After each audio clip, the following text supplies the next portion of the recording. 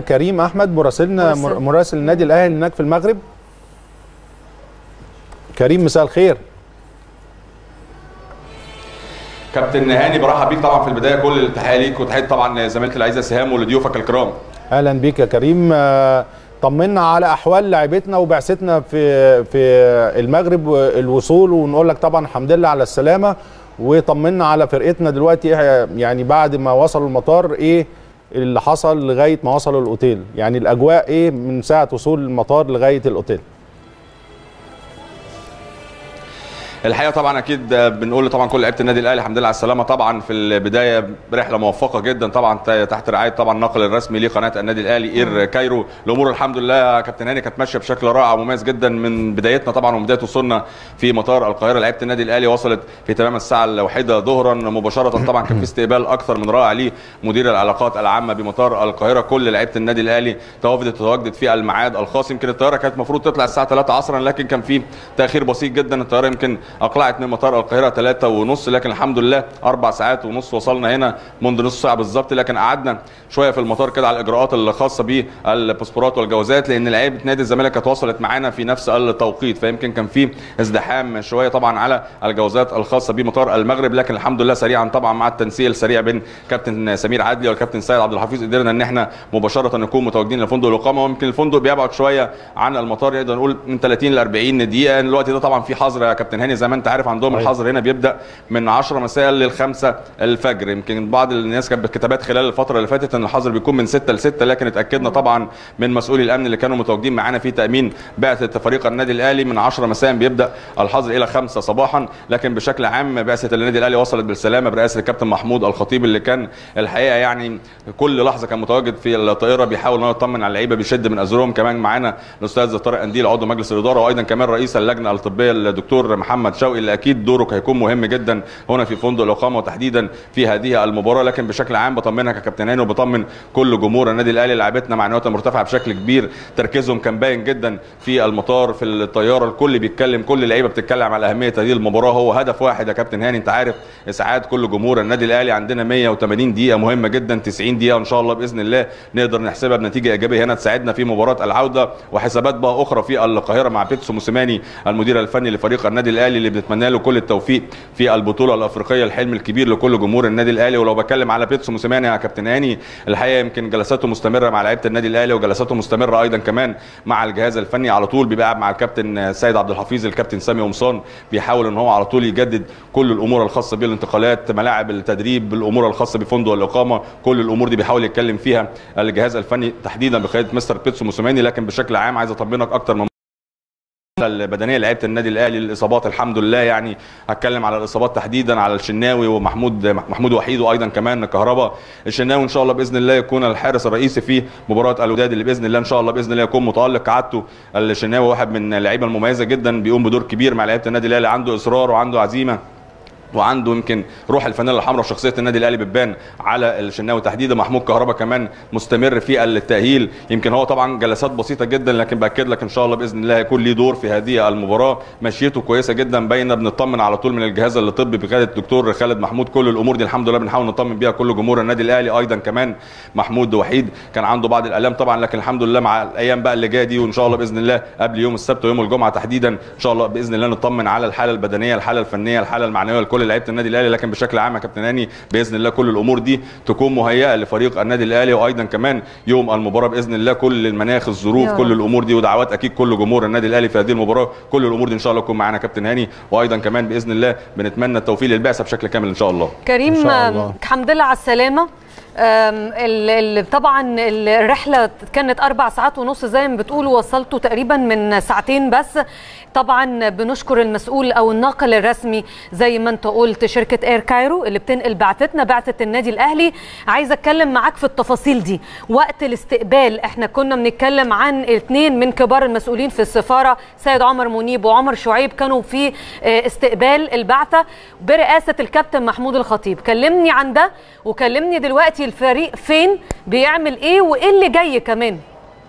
من بعد خمسة الفجر بقى بنحكي إحنا في وقت حظر دلوقتي في عندهم. البداية طبعا يعني الله يسلمك طبعا سهام طبعا بأكد لك طبعا على التواجد القنصل. طبعا يمكن كنا بنتمنى يكون السفير متواجد معانا لكن هو في القاهرة إن شاء الله يكون متواجد غدا.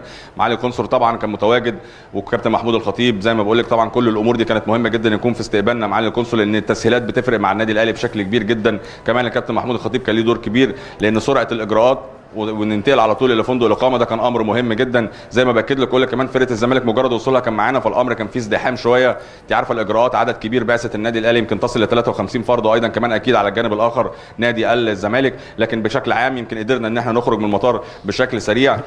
كل الأمور بقى اللي إحنا بنتمناها الفترة اللي جاية بقى مع معالي القنصل أكيد كل المسؤولين عن سفارة مصر هنا طبعا في المغرب. كل الأمور الخاصة بالتدريبات الانتقالات كل الأمور دي إن شاء الله بإذن الله على مدار الأيام. يعني عندنا ثقة كبيرة جدا فيهم وما يبقاش في أي صعوبات أو اي معوقات.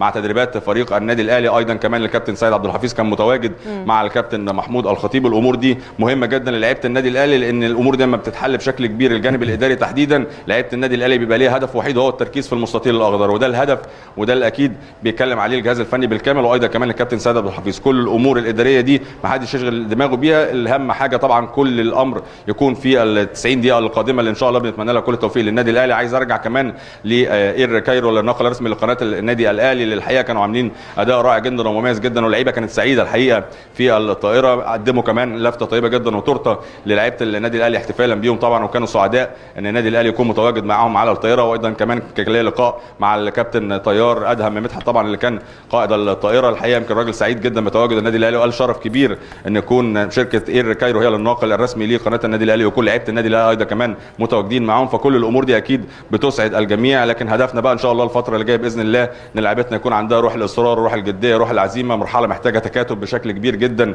مش هنتكلم بقى على حضور الجمهور هنا في الوداد مش هنتكلم على كل الأمور دي. هنتكلم على فرقتنا فقط لغير مم. عندنا ثقة كبيرة جدا فيهم وثقة كبيرة أيضا كمان في الجهاز الفني. إن شاء الله كل الظروف تكون مهيئة ونرجع إن شاء الله بنتيجة إيجابية بإذن الله إن شاء الله إن شاء الله يا كريم. طبعا كل الرسائل دي طبعا برضو برعاية بنك سايب طبعا راعي النادي الأهلي بجانب طبعا إير كايرو. لكن عايز عايزك يا كريم أخيرا توضح لي البرنامج برنامج الفريق إيه بكرة؟ يعني النادي الأهلي أو فرقة النادي الأهلي هتعمل إيه؟ بكرة الاستيقاظ الساعة كام؟ التدريب الساعة كام؟ المحاضرات يعني البرنامج اليومي للنادي الأهلي بكرة هيكون إزاي؟ بالتأكيد طبعا يا كابتن هاني يعني في اجتماع حاليا دلوقتي بيتسو موسيماني للكابتن سمير عدلي للكابتن سيد عبد الحفيظ لوضع البرنامج الخاص بالتدريبات حتى طبعا يوم الجمعة اللي هو يكون آخر تدريب لفريق النادي الأهلي. عندنا معلومة كده إن المؤتمر يوم الجمعة ممكن ما يبقاش في مؤتمر صحفي. إحنا عارفين إن قبل كل مباراة طبعا ب 24 ساعة بيكون في مؤتمر صحفي لكن الإجراءات طبعا الخاصة هنا بجائحة كورونا الأمر ممكن يكون في إلغاء للمؤتمر الصحفي لكن حتى هذه اللحظة لم نتأكد من هذه المعلومه لكن مرارا إن شاء الله مع مرور الأيام هنتأكد من هذه المعلومة. أكيد يعني تدريب فريق النادي الأهلي هيكون من الساعة 4 للساعة 5 يعني يعني التوقيت ده اللي إحنا طبعا لمسناه وأكدنا كمان عليه من مسؤول الأمن اللي كانوا متواجدين هنا. كل الأمور دي هتتحسم دلوقتي يا كابتن هاني. لعيبة النادي الأهلي في هذه اللحظات يعني خلاص دخلت على وجبة العشاء يمكن الوقت متأخر شوية لكن مباشرة على طول دخلوا على الغرف ثم ميعاد على طول لوجبة العشاء. خلاص بقى اللعيبة بعد كده هتخش على طول على الغرف مباشرة. صباحا هيكون الفطار صباحا 10 صباحا هنا بتوقيت كازابلانكا وتوقيت المغرب. الغداء طبعا كالعادة بيكون الساعة 1 ونصف ظهرا. لسه بقى أمر التدريب ده أكيد هنتأكد منه في خلال لحظات بسيطة جدا من الكابتن سيد عبد الحفيظ سواء غدا أو بعد غد وحتى إن شاء الله يوم الجمعة. لكن بشكل عام إن شاء الله يعني يكون في تنسيق كامل ويكون أيضا كمان في برنامج تدريبي مؤهل للعيبة النادي الأهلي ويسعف النادي الأهلي بشكل كبير. ما يبقاش التوقيت بدري أو متأخر لأن هنرتبط طبعا بميعاد المباراة. زي ما أنت عارف يا كابتن هاني لكن بشكل عام الأمور الحمد لله حتى هذه اللحظة ماشيه بشكل مطمئن وطيب جدا لفريق النادي الأهلي. طيب طمنا كريم أخيرا عن علي معلول وجيرالدو. عارفين إن هم كانوا بيشاركوا مع منتخباتهم لكن هيوصلوا أفتكر إن هم وصلوا الاجتماع هيبقى معاهم بكرة يعني الجلسه دي هتشملهم مع بيتسو ميسوماني يعني برضه حتى هذه اللحظة من الواضح إن إن أكيد علي معلول وجيرالدو هيوصلوا غدا. التوقيت طبعا الوصول أوه. أنت عارف المجال الجوي يعني في الرحلات الخاصة بس هي اللي مسموح بها لكن في تنسيق كبير جدا سواء من الكابتن سيد كابتن سمير بالكاف كمان مسؤولي الكاف وأيضا كمان السفارة يعني. لكن معلوماتنا اللي موجودة عندنا إن أكيد جيرالدو وعلي معلول هيكونوا متواجدين ظهر الغد إن شاء الله بإذن الله. هنأكد المعلومة دي برضه خلال من خلال لحظات انت عارفه لسه واصلين.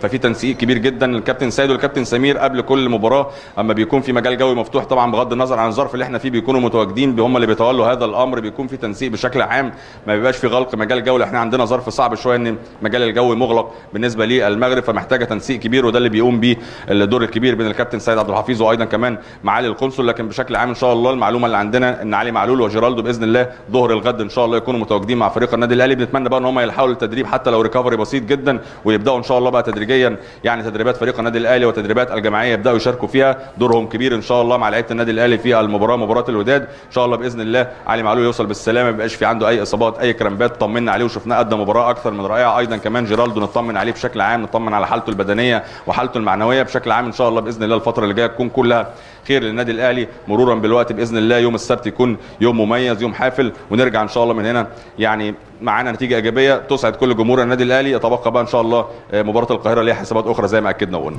إن شاء شكراً الله. ليك، شكراً كريم ليك أحمد كريم. آه، بنشكرك شكرا جزيلا من المغرب. وإن شاء الله على تواصل دايما معاك آه، لغاية إن شاء الله يوم المباراة. وزي ما أنت قلت كل التوفيق للنادي الأهلي. ونرجع إن شاء الله بنتيجة إيجابية.